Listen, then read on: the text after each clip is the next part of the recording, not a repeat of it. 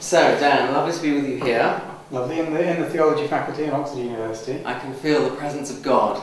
We're here to talk about. Oh, right, I'll try and live up to that. We're here to talk, very kindly, thank you for joining me. We're going to talk about The Beasts of Electra Drive, which is my upcoming novel, and specifically about the structural editing stage of the writing of that, which you have done a fabulous job of guiding me through. Um, basically, uh, we spent about five months back and forth, slowly, doing other things, but basically five months. So, so, so the idea is to get an idea of the iterations we've been through on that yes. process and the way we have zoomed in like a finely tuned sculptor yes. artist from from the broad washes to the yes. fine brushes. The first meeting we had was in Bruno's Cafe in Soho. Was. And I think you were the one who first brought up J.F. Sebastian in Blade, Blade Runner. Runner. Yes. Um, How would you describe him? He is an obsessive loner creator who occupies this this huge world that he feels completely out of place in. Um, and is trying to create his way into an occupancy of, if that makes sense. He, he's, it's very much, it's, it's an old archetype, isn't it? It goes back to Beauty and the Beast, all these things uh, of this, this lone person alone in a castle, not quite knowing what to do with it, surrounded by space, surrounded by potential, and trying to find a way through their own endeavour to occupy that space fully. And this is, it's, for, for Jamie, it's, it's obviously this huge house he has on Electra Drive, um, but also metaphorically he is in this massive world where anything can be created and he is trying to find a way to fill that. Um, yes, Jamie of course is my protagonist and this is set in the Hollywood Hills uh, and elsewhere in LA as well. Um, but Jamie's house, um, in fact he has three houses, grand mansions in the Hollywood Hills, there is a great sense of him being very much alone, despite the fact that he creates, uh, I call them beasts, they look like people, um, but they are called beasts, hence the title, The Beasts of Electra Drive. So your steering me um, towards J.F. Sebastian was extremely helpful. I do recall him from Blade Runner, um, he looks ancient, more ancient than he really is, doesn't he? Because he's got some yes. strange sort of sci-fi condition that makes him look that way. But the obsessive aloneness, and specifically doing that in order to have what we refer to as the richest possible communication that he could have with the world, is to put these beasts out there and to have them then interact with the real world, as it were, for him um, that is the richest possible communication he could have there's, with the world. There's also this fabulous Dorian Gray type archetype that's going on there with J.F. Sebastian and who has this condition, as you say, and Jamie who is part of Hollywood, who is part of this place where you cannot imagine anyone going around who has a wrinkle, let alone an aging condition, and in a way that obviously his beasts are very beautiful. Yes. Um, they are this, this perfect thing, and yet you have him as this J.F. Sebastian figure in the background mm. who illustrates the the shriveledness, the dryness, the possibly the, the, the age, the, the agedness, um, and the, the, the also the being at arm's length, however, in a general sense, um, because I will just say that there is the sense, at least I've endeavoured to, uh, to, to to make the sense that even though he spends a lot of time alone, um, nonetheless, uh, when he does venture out into the world, there is a kind of power that he mm. has as well, uh, and it's it's more that he prefers to exercise yes. this power through his beasts and be alone himself. But when he steps out, he's also somewhat manipulative, uh, not in a, a, a malign sense, but just because he has a view of how things should be in the world, which is more to do with intensity and beauty and uh, which can be ugly beauty by the way doesn't have yes, and, and, and, this, this is one of the early discussions we had because one, one of yeah. the things that I wanted to get clear before we started looking at the details was exactly what ideas you had of who Jamie was and I think I kept on pushing you on, on, on exactly that kind of issue of, of consistency of character. Mm. Um, was he always manipulative? Manipulative? What does it mean to have a hero who's manipulative? Um, to what extent was he a puppet master and to what extent was he part of this this world that he is. Yes, and we may be nipping ahead forward here in mentioning, mentioning Francis Bacon, but I am inclined to mention him right Mm. now because uh, it was not until about uh, three or four weeks ago that we thought of Francis Bacon, I mean the painter, not the old writer, um, as uh, being, as it were, the third relevant figure uh, that whose echoes can be found Yes. and can act as a steer for Jamie. We'll mention the, the, the other one in a moment, but, but after J.F. Sebastian, Francis Bacon is another one in the sen- in two senses. Firstly, uh, as, as you were clarifying for me, um, when he Bacon was uh, alone for you know uncounted hours in that little crucible of a studio upstairs at Seven Reece Mews, uh, over the course of 31 years he occupied that space. Obviously, spent massive amounts of time alone um, in that crucible um, with him and the canvas and him and his thoughts before the canvas and so forth, creating these amazing figures, these bloodthirsty, beautiful, ugly, but uh, just terrifyingly alive figures, Mm. um, which he would then send out into the world. And yet, then when he stepped out from his studio to go into society, he had this legendary, grand, dangerous charm uh, with the people around him, uh, legendarily so. So he was almost like a puppet master there as well. Yes, it was a similar parade of figures, almost like the parade in Macbeth where you have Banquo and you have all the figures of the kings of Scotland parading before him and Mm.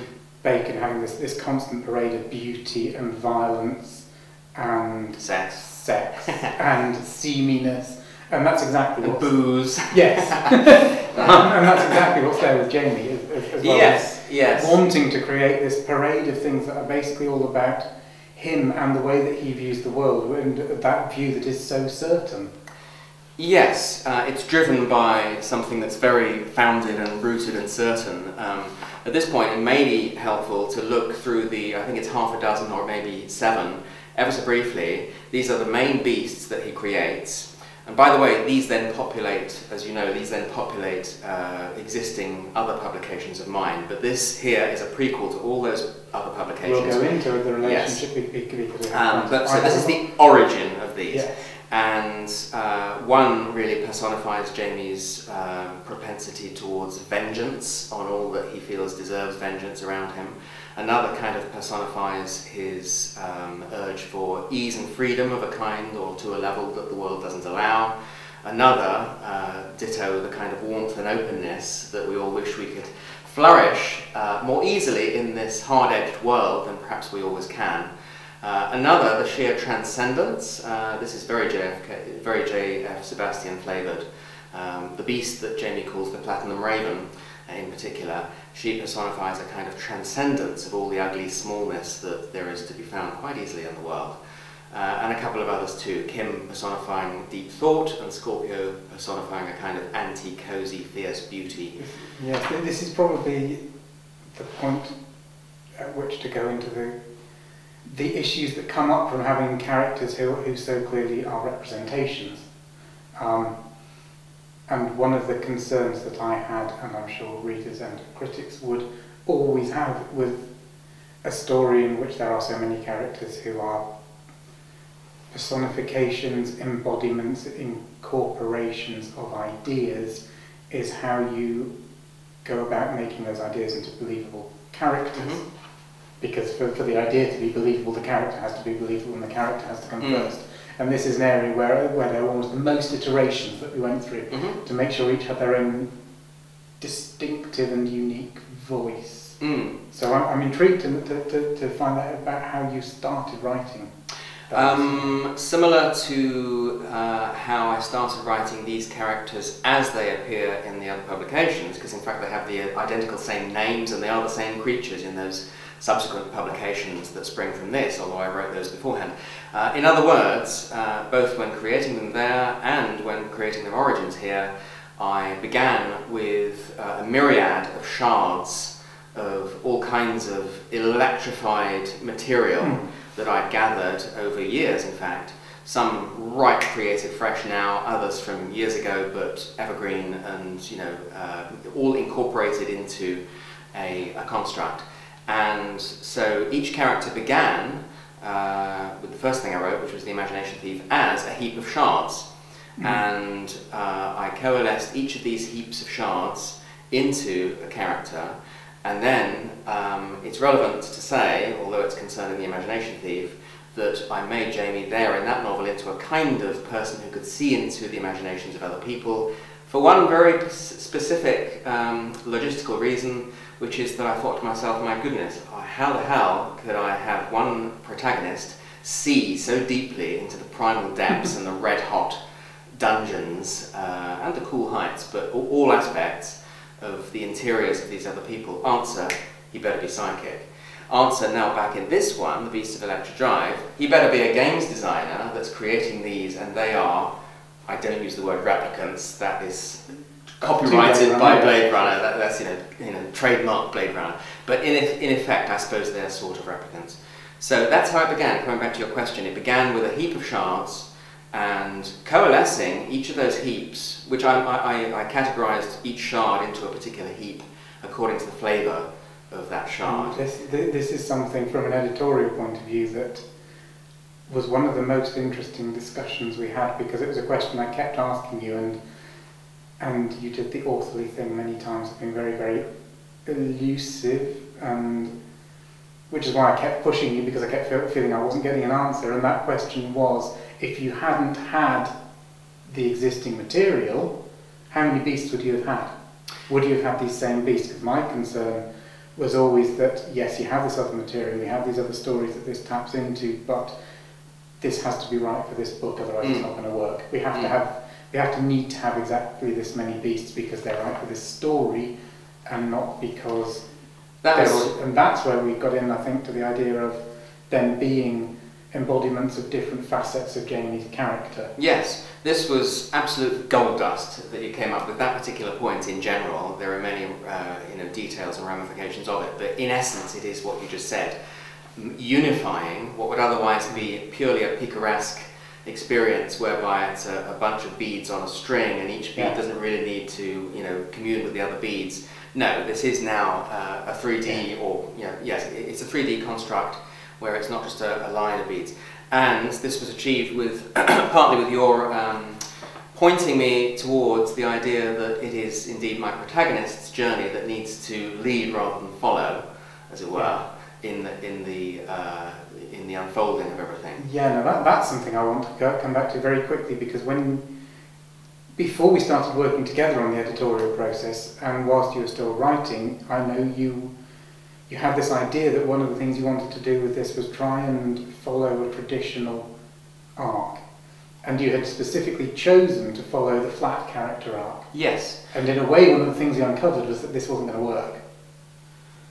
Um, yes and no. Uh, just to, to define, uh, the flat character arc as you know, K.M. Weiland um, has spoken of a positive character arc and a negative character arc, which a lot of other people talk about as well, but she has also added the flat character arc, which doesn't mean that the reading experience is flat, of course, it simply means that the journey of change isn't really, uh, at its heart, undergone by the protagonist, it's undergone by everyone around the protagonist. So uh, I know it's crime fiction, but Sherlock Holmes is a fine example. He never changes, but boy, does he make changes in everybody that's around him, you know? So, um, Flat character arc, yes. I deliberately was reaching for some traditional structure because I wanted to take things to the next level yeah. after the Imagination Thief, which um, I uh, was more of a picaresque structure. So it was more of a colonnade where you do have a first gateway of no return and you do have a second gateway of no return. You don't really have steeples in the middle. You mm -hmm. have uh, two strong gateways with a colonnade. Yes, it's like a suspension bridge basically, yes. where, you, where you've got these two pillars and Yes. Um, it does balance, but I wanted to do something new, so I wanted to have finials and steeples in the middle. Um, so I uh, wanted to therefore find a traditional structure to achieve that, and this flat character arc um, was one of those because it absolutely does have as many finials and steeples as a positive uh, mm. or a negative character arc does. Um, and I therefore, just reaching forward to remind myself, I therefore did structure it around a midpoint and two doorways of no return, and in between those two pinch points. So first doorway of no return, first pinch point, midpoint, second pinch point, second of no return, and then of course climax resolution. Uh, I structured it that way traditionally, um, knowing that there was no danger that I was going to fall into too traditional or very traditional um, yes. mode of doing things. Whatever I did was going to be end up being strange. Yes. And so I'll take up on what I felt didn't work about this. And you mentioned the word picaresque, and that's exactly how it was in, in the first sense. You literally had the first beast comes along and does something, the second beast comes along and does something. And it's mm. like this, this journey that a knight would go through where you'd have, oh, here's a small goblin, mm. here's a slightly larger goblin, oh, here's a troll, mm. building up to the dragon. Um, or Canterbury Tales or something, yes. Yes, and so you've got this, this what, and I, I, am sure I use the traditional phrase in the margin several times of one damn thing after another. Um, so you've literally got these unconnected right. episodes um, and the only way of progression is that you've got a different character at the heart of it. Um, mm. So there wasn't really a sense of of an arc, and I couldn't see what they were doing. But bringing these characters together as aspects of your protagonist was a way of actually turning this into almost, and it's going, it sounds very Jungian, but this is a, this is a psychic integration mm. of Jamie's character, so that by the time all of the beasts, they're still chronologically they come after one another, but by the time you've got them all, mm. what that actually represents is the fact that these splintered aspects of his personality have now come together. Yes, um, that was wonderfully helpful too. Um, it ties into his mission or missions in all this, uh, which creates stakes or higher stakes, mm. doesn't it? Um, and we clarified our view of two missions, one more personal and one more kind of grander, more worldly, more to do with a more Olympian view of life and how it should be rather than how it is, which is just as important. Um, so yes, the personal stakes that we came up with kind of came back to this J.F. Sebastian thing of how the hell is he going to live in this world hmm. uh, when this world is designed with such cussedness, which yeah. I know we all find, you know, but it's for each of us to make our way through that cussedness in our, with our own different sets of resources. Um, so that was, you know, fairly to be expected personal um, gathering together of all the strands that these beasts were. But then the grander mission that we uh, clarified was um, basically to give it your wonderful phrase, the battle for the soul of mankind.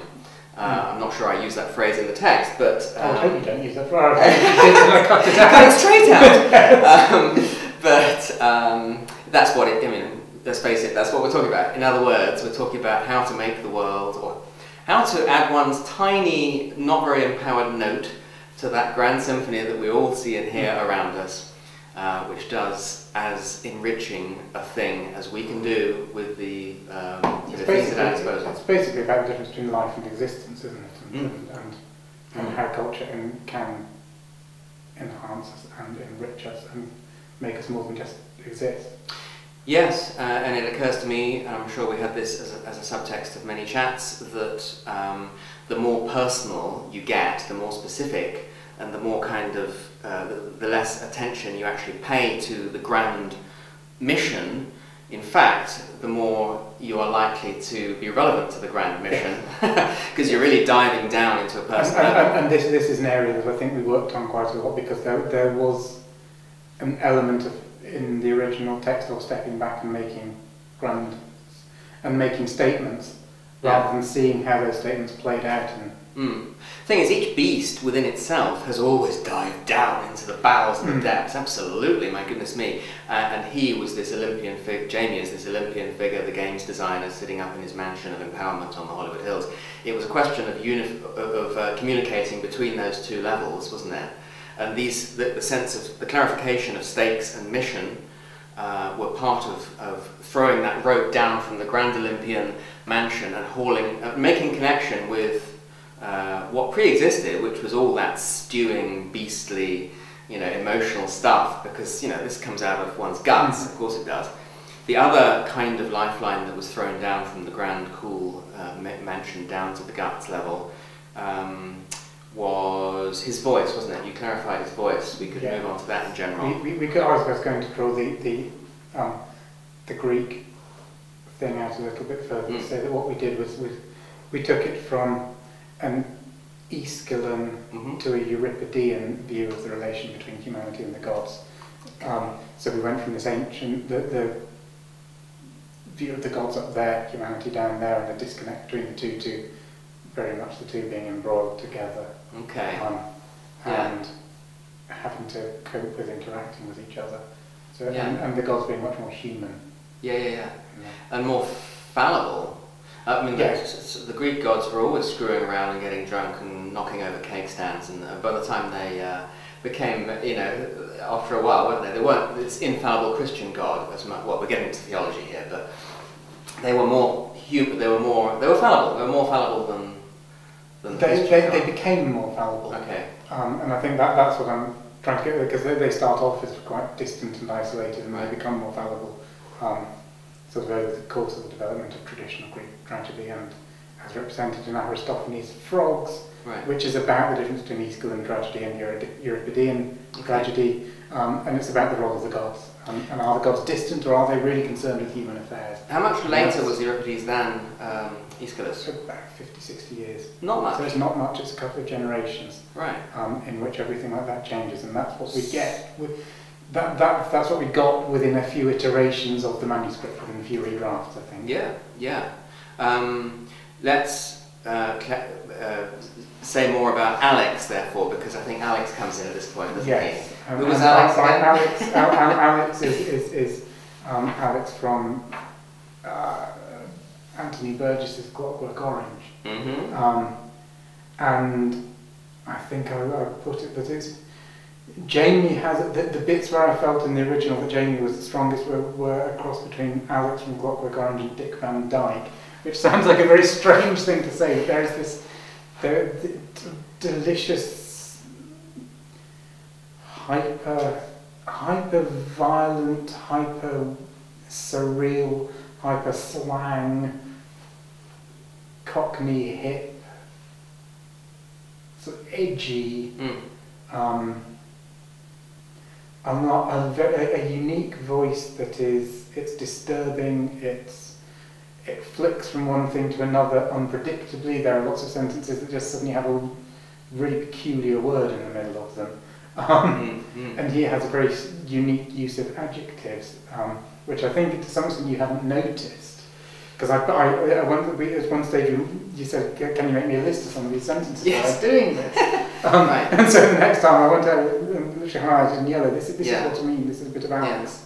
Yeah. And, and you're like, oh, You were, if anything, more thinking of Malcolm McDowell's portrayal Yes. of Alex than of Burgess's original, uh, perhaps. Um, yes, the knowing winky Yeah, sort of- yeah. To camera. And when you say cocknified, I suppose this is This slightly. is the Dick Van Dyke yeah, yeah, coming yeah. in. Yeah. I was thinking of Dick Okay. Van Dyke from um, Mary Poppins. Yes. That's a which real I- discordant. The, the fact that the cockneyness really doesn't work in the- Dick Van Dyke's accent, Mm, and yet when you add this layer of ultra-violence and sinisterness and all-encompassing meta-narrative on top of, mm, it makes it not work in a really interesting way. mm, And it's mm. the discordance in Jamie's voice that's so that's so fascinating. Yes, and of course there was discordance in, in the Malcolm McDowell original by itself, wasn't there? I mean, the, the one eyelashes are highlighted and the others are not, Yeah. kind of thing, which is, you know, at one level kind of wrong for everyday life, but I, it's very right for, you know, Yeah. for what it was meant to be doing. So, um, yes, we ended up with Jamie's voice having been clarified via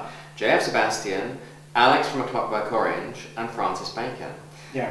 um, so as to make things a little more tidy and full of sense, I basically donated the J.F. Sebastian aspect of that to one particular beast, the Platinum Raven. Hmm. Um, I gave uh, the task of, as it were, being J.F. Sebastian to her.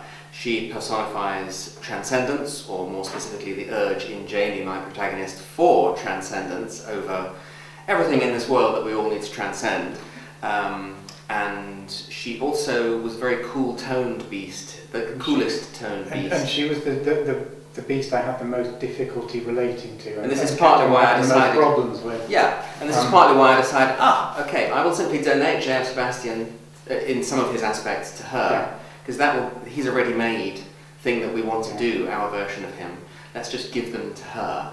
So that was really useful um, to learn or, that she was needing a little bit more voltage, shall we say, and he was a bit of spare voltage waiting to find a home for. So they plugged into each other. Um, so I, I, not that you'd know, but I mean, from behind the scenes, it was you know he was my source of voltage for her. Yeah. Um, as was Lana Del Rey to some extent, I may Yes, as well mention. yes. Specifically, Summertime Sadness. Yes. Um, the wires above were sizzling like a snare, um, doing about 199 miles an hour, etc. I introduced a few images of zooming up the rocky headlands of the Pacific Coast Highway that I think of when I hear she is a particular, I find her particularly interesting as an artist, and she's an artist I listen to a lot. Mm. Um, and I know she's, she's a very problematic artist, um, very controversial because of her views on feminism and a lot of uh, costumery. She's become very embroiled in the cultural appropriation arguments. So there are a lot of, she, she's a very problematic artist, but she has this, this fascinating mix of um, harmony and melancholy and cruelty in her.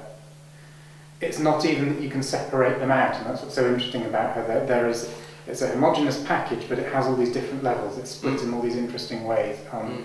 and so it's a very good thing to Mm. model your story on because it's what takes something that on the surface, when you look at the harmonies of it, seems quite bland. Mm. Um, but Spec- actually has an element that's really not bland at all. Yes. Specifically, um, the, the way in which I uh, most obviously introduced her into um, the Platinum Raven was that I had Jamie set up a death wish, and then, as a games designer, as a programmer basically of her, a coder of her, coded into her, into his beast, the Platinum Raven, um, this uh, death wish to be boozed up and happy and ready to die uh, in a car crash going up the rocky headlands of the Pacific Coast Highway, and yet cut that off and never allow it to happen to her. Have it always be uh, a potential voltage, a potential difference within her, a voltage inside her, um, and her never actually to die like that. Um, so that's Which, which illustrates the problematic a- aspect of Jamie as a character and the controlling aspects of his character because this is a mm, clearly very cruel and manipulative thing to do and whilst it raises wider questions about culture because obviously whilst the, the aims that he sets out with these wonderful aims, these aims turn into totalitarianism. to some Um, extent, and yes. I don't know, this is a conversation we, we again had about to what extent this is this great thing he's doing, to what extent he is just a totalitarian character who is, who is controlling and manipulating and abusing. And I think I actually used the word abuse in some of our Perhaps. earlier conversations. Yes. Um, uh, what was I going to say? Oh, yes. This touches upon whether or not the, the question that we also talked about of whether or not the beasts are actually alive and actually Mm. have their own volition and Yes. feelings. Because, yes, it's certainly cruel for him to do that to her if indeed she does actually have feeling, agency, volition, suffering, pain, etc. Mhm. But Jamie's a games designer. He's writing code. These are ones and zeros. I use Yeah. the phrase ones and zeros a lot to ramp home that this is ones and zeros he's tracking with, at least on the surface. Um, and I spell out that when he's had these beasts run out, run around in LA and do their stuff and uh, take on Jamie's enemies, basically, um, then those beasts are once again sealed up in the games. Before the games are released, done and dusted, in their packaging, will be played by gamers in the future, and they'll just be ones and zeros at that point. So we come to the philosophical question, which again is Yeah. there in Blade Runner, obviously. Are these real feelers? Do they And, feel? and, and, and as an editor, and this is this is the sort of the moment where I turn to camera and say this is the really the key thing um, for an author and an editor working together is when I read the book as a critic, I'll have all sorts of things to say about that, um, and I will take you to task on a lot of those things. But as an editor, it's absolutely not my job to take you to task. My job is to understand that you understand that you are raising these complexities. Mm. Because the worst thing you can do as an author is to raise all these questions without actually being in control of them in your own head. Mm. So it's my job as an editor to make sure that you understand the ramifications of what you're saying. Yes. Whatever you do with that, that's fine, that's up to you. And you raised one or two things that I realised that there simply weren't going to be wasn't going to be time for me to tangle with them. For example, really interesting idea about what it what fun it would be, to, or how rather how rich it would be potentially to have Jamie go into a game. Hmm. But no, sorry, that's a whole. That would make the novel It's- about it's, three it's long book as it stands. yes. Um, Um, so I should say that the stage we're at is that I have very is a very precise, tidy stage. I've exactly finished what we decided to call the structural edit, and I'm exactly at the beginning before plunging into what we decided to call the copy edit. Um, and I say what we decided to call because in this case the boundary between the structural edit, um, also known as the developmental edit, same thing, but the boundary between the structural edit and the copy edit was perhaps slightly less of a clear boundary than it may be for some novels because Be- because of the the way once you had established that the character these beasts were aspects of Jamie, we then had the issue of how do you differentiate the passages where we have Jamie speaking and the passages where we have the beasts speaking. Um, and a lot of that comes down to sentence structure. And so we, we, we did have this back and forth as well, is se- sentence structure part of the structural edit Mm, or is it part of the copy edit? mm, And I think in the end we decided that the structural editing part of it was was making sure that we both had an understanding of what the different voices were, mm. and then the, the copy edit part of it was was exactly how you embedded that in the passages in question. Yes, and to get really precise now about the first, most structurally flavoured aspect of the copy editing that I'm going to dive into as the first part of the copy edit, um, it is that, as Dan has just said, um, there are a few places in the novel where Jamie can't even be present, and I've made absolutely sure that there is no trace of his slangy Alex Yes. Bacon Sebastian voice in those. It's just blank, la- normal language. That was very straightforward indeed. Then there are places in the novel where it's it's very much him, but he's alone. He's running around. He's doing stuff by himself. He's not making beasts. That's also fairly straightforward because we now have this. Mm. That's done essentially. We now have this voice that we've just described. Um, we then, and this is what we're getting to, we then have uh, the creation cycle chapters. I should say that when each of the seven beasts is created, uh, Jamie goes through a creation um, process to make that happen. He develops over the course of the novel in his sophistication as a creator of beasts. He also then, at the same time, develops in his sophistication as an orchestrator of already incarnated beasts. So there's a two journeys of sophistication that he takes, creating the beasts and then making them run around and do stuff. So what we're here talking about uh, in the copy edit, um, uh, precision of what I'm about to jump into in the copy edit, relates to during the creation cycles, because these are the most buried deep inside the beasts. Mm. He's making them, you are inside the beasts' uh, existences, and what we were originally losing track of was Jamie's journey while we were in those depths.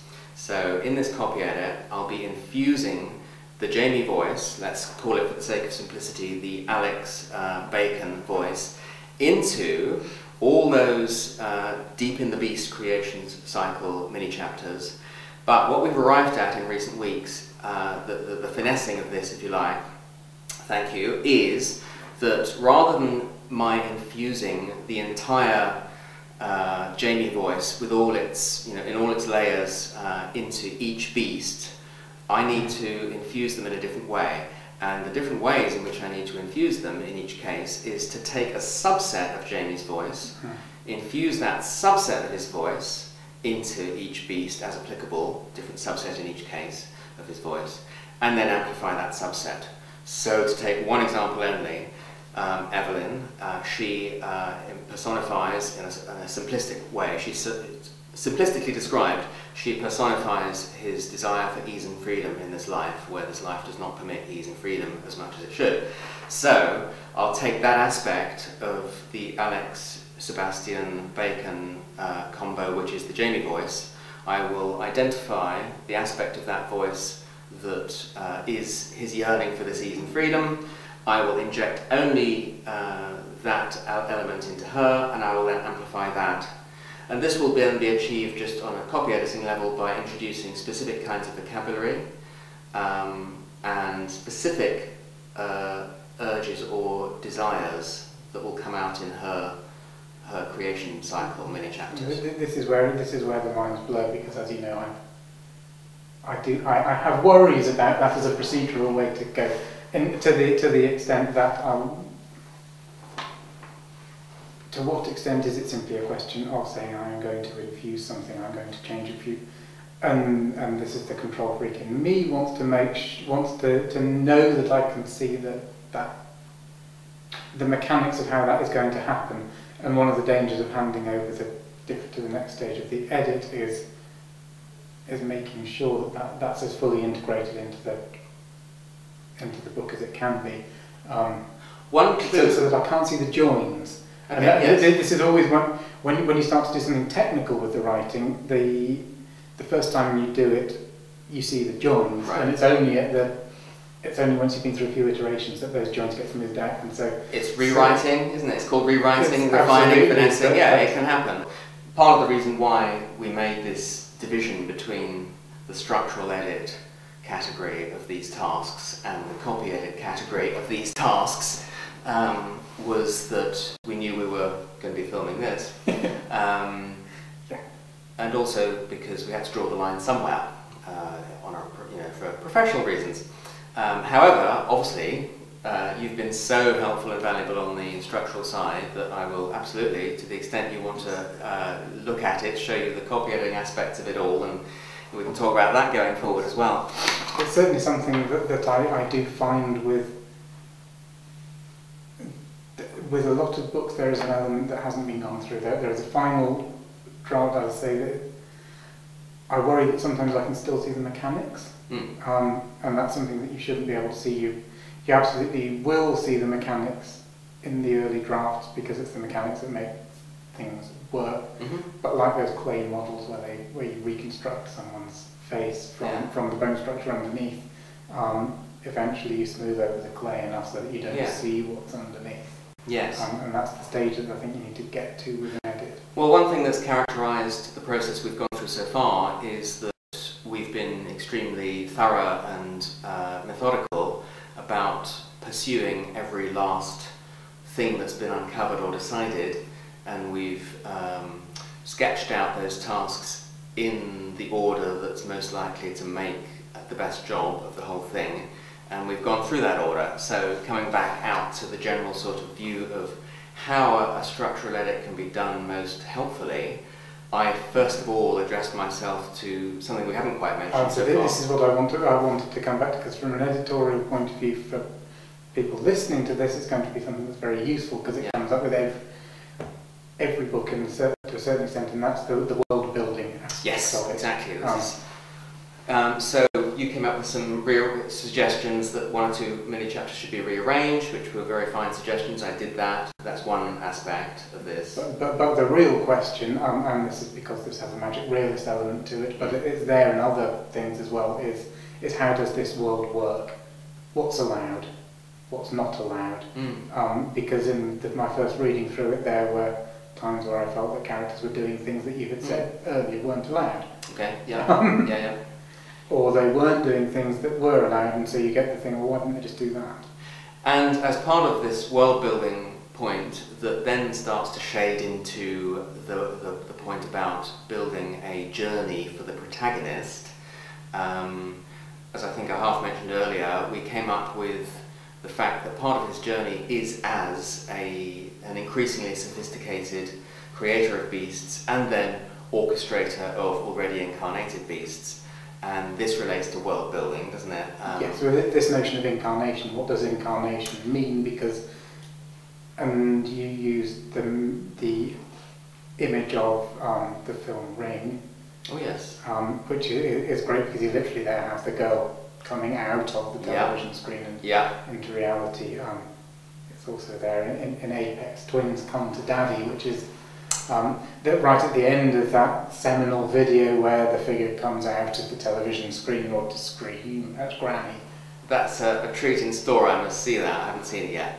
Um, yes, um, world building. So Jamie is a human being. There's no ambiguity there. Um, but once, yeah, we should clarify that once he's gone through a creation cycle for each beast, um, which in each case is a specific task of his writing their code, um, one of his antagonists then hacking their code, um, then his creating the beast's appearance, then one of Jamie's antagonists, um, what I call smudging, Smudging. that beast's appearance, again via digital hacking means. Uh, it's not a sci-fi thing, it's not a techno thriller, I don't stress that aspect of things, but in a magical realist sense, one of his antagonists uh, reliably attacks the appearance of each beast as they're created. Um, a soundtrack is assembled by Jamie for each beast, as occurs in, in games, um, and he kind of test drives each beast. Um, and finally, each beast is incarnated, which means, yes, just to be clar- to clarify things here, they do slither out and- uh, as a they look like human, but they, they slither out through his his monitor. And, and, and this is something that wasn't clear initially, and, and I don't think that the actual structure, the, the, the process of what was happening was clear in your mind necessarily.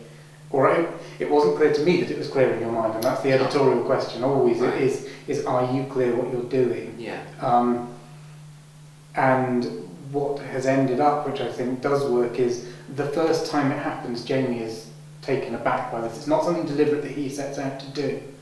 Um, and then it was, it was, it wasn't clear thereafter whether it, it sort of went from him being utterly taken aback, what on earth is happening, to oh blah blah blah, this is what I do. And I, was, I thought that just wasn't realistic as, as, a, as, a, as a reaction to it. And so he, you've built in much more of a journey of him learning what it is he's doing. Mm. There's always, he's got these powers, and they turn out to be much greater powers than he thinks he's got. Mm. And he comes to terms with, Mhm. with what these powers can do through the course of the various creation cycles, so that it's not. Yes. And you get this, in, you get this in cheap films, and it's, it's part of the picaresque thing again, as you go from having something that, oh my god, what have I just done to, oh, yes, and very, being very Right. blasé about it, and, and, Right. and that element goes, so there's not this falling off a cliff Mm. in terms of realization, but it's much more of a journey that he goes on. Yes, a, journal, a journey of subtlety and sophistication in building these beasts. For example, his first beast that he builds, Amber, whose appearance is that of Rutger Hauer in The Hitcher, um, which was first uh, set up as an appearance of Amber in one of the other publications to which this is a prequel. Um, this beast, Amber, is in a sense the simplest, harshest beast. Uh, to wit, Jamie has taken a ready-made JPEG of his appearance Mhm. out of the culture, Hauer as John Ryder in The Hitcher. Um, he hasn't, he couldn't be asked to make a new appearance of his own. He, he took out a ready-made off the peg one. Uh, and also, Amber is a, uh, is a harsh creature of vengeance and lip smacking fun, you know. Um, so we get more sophisticated than that. Uh, the second beast, Evelyn, she is um, a personification of the violin playing that Jamie, a, a young teenage Jamie, Jamie, whom we get a glimpse of at the beginning of the novel, used to do when he was a bit of an outsider, of course, a creative, strange um, outsider from the main popular group, tolerated on its edges, you know, much like me, um, and ma- many of us, I'm sure, uh, many of us artistic freaks. Um, and so, and we go through the beasts, and Jamie gets um, more and more uh, subtle about making them. But then, during each creation cycle, during the course of each creation cycle, I interleave that with I interleave the, the dense, descriptive, artistic, freaky, strange, electrified creation cycle of mini chapters with narrative mini chapters. And those are people running around, it's, it's the real world, it's meat space, stuff is happening, people are having coffee, you know, normal world stuff to, to keep, to, to make sure that the, the novel is as it should be in terms of variety and pace. Uh, and part of this running around in these narrative chapters is that the already incarnated beasts who have already slithered out through screens in previous creation cycles are now running around doing their thing. And initially, Amber is kind of a, a bit of a prankster as he runs around, too much so, and I'll reduce that as, as, you've, as you've pointed out. But he's meant to be a bit crude in his running around.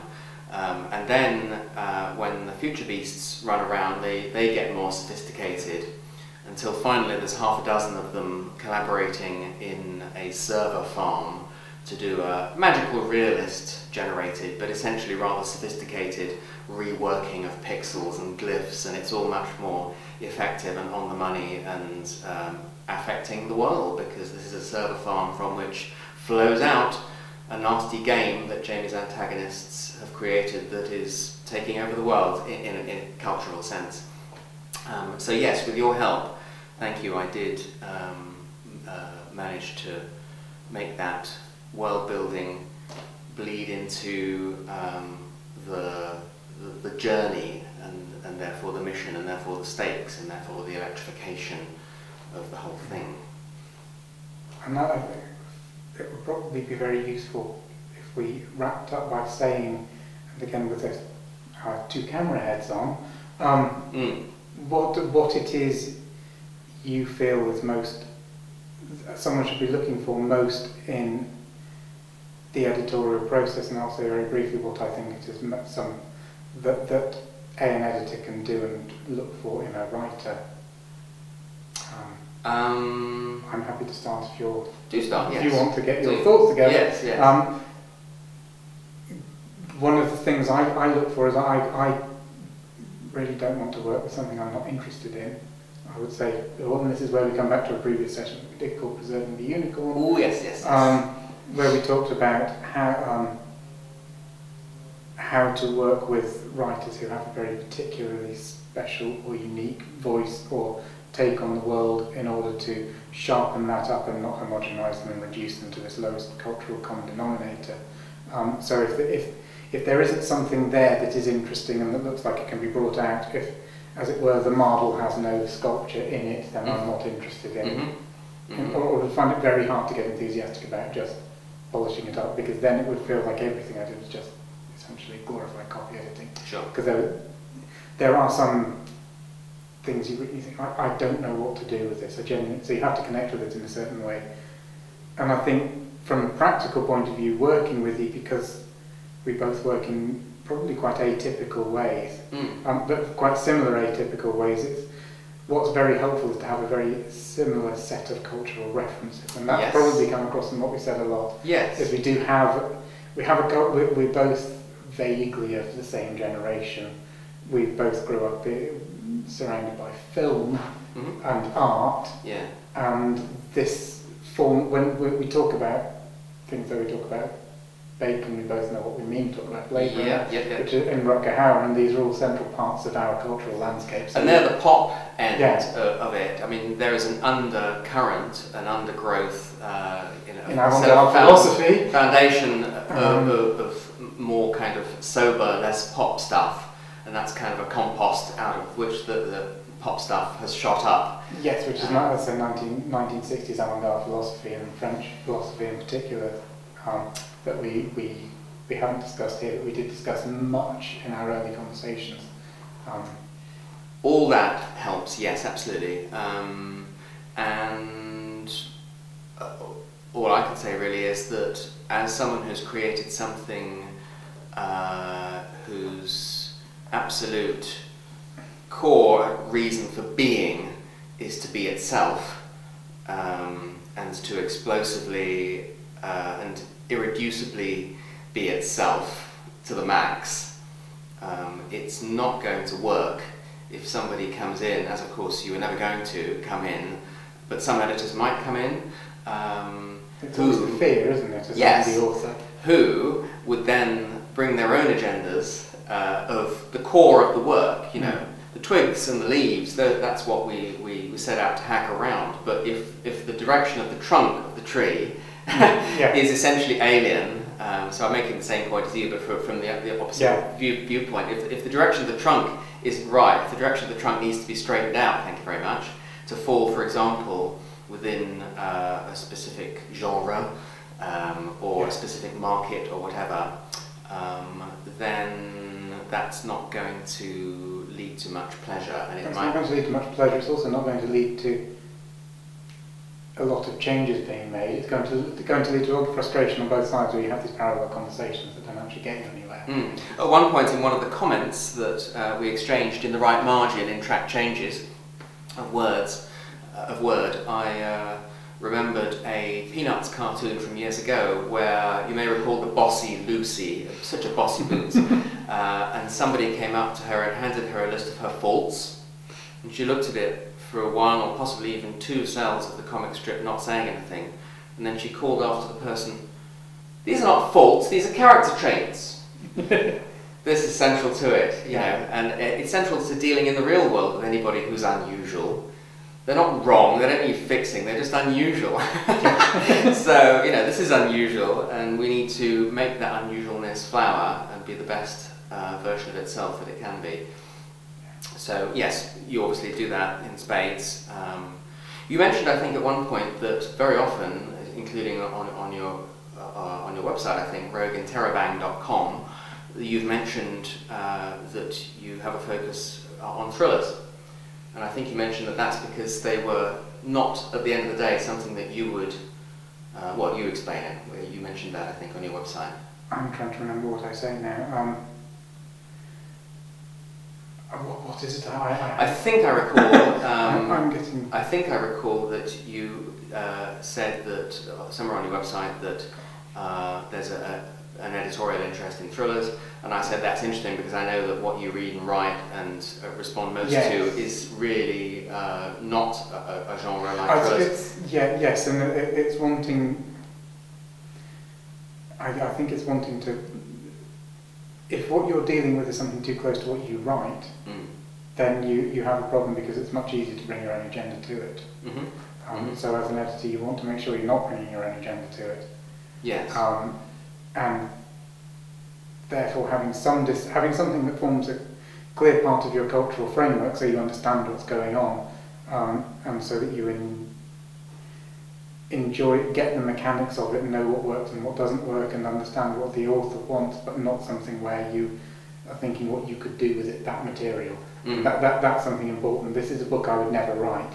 Mm-hmm. Um, and I think that that's absolutely essential if you are a mm. writer and an editor. Mm. If you're working with someone on something that you would write, there's always a tendency to say, how, how would I write that? Yeah. And that, that's absolutely where you mustn't go. Yeah, yeah, yeah, yeah. Um, so, it's been a pleasure and it's not over yet because we have the copy editing stage, uh, which I will launch into and then we'll see what's what after all that. So, thank you so much. Thank you very much indeed. Thank you. Thank you.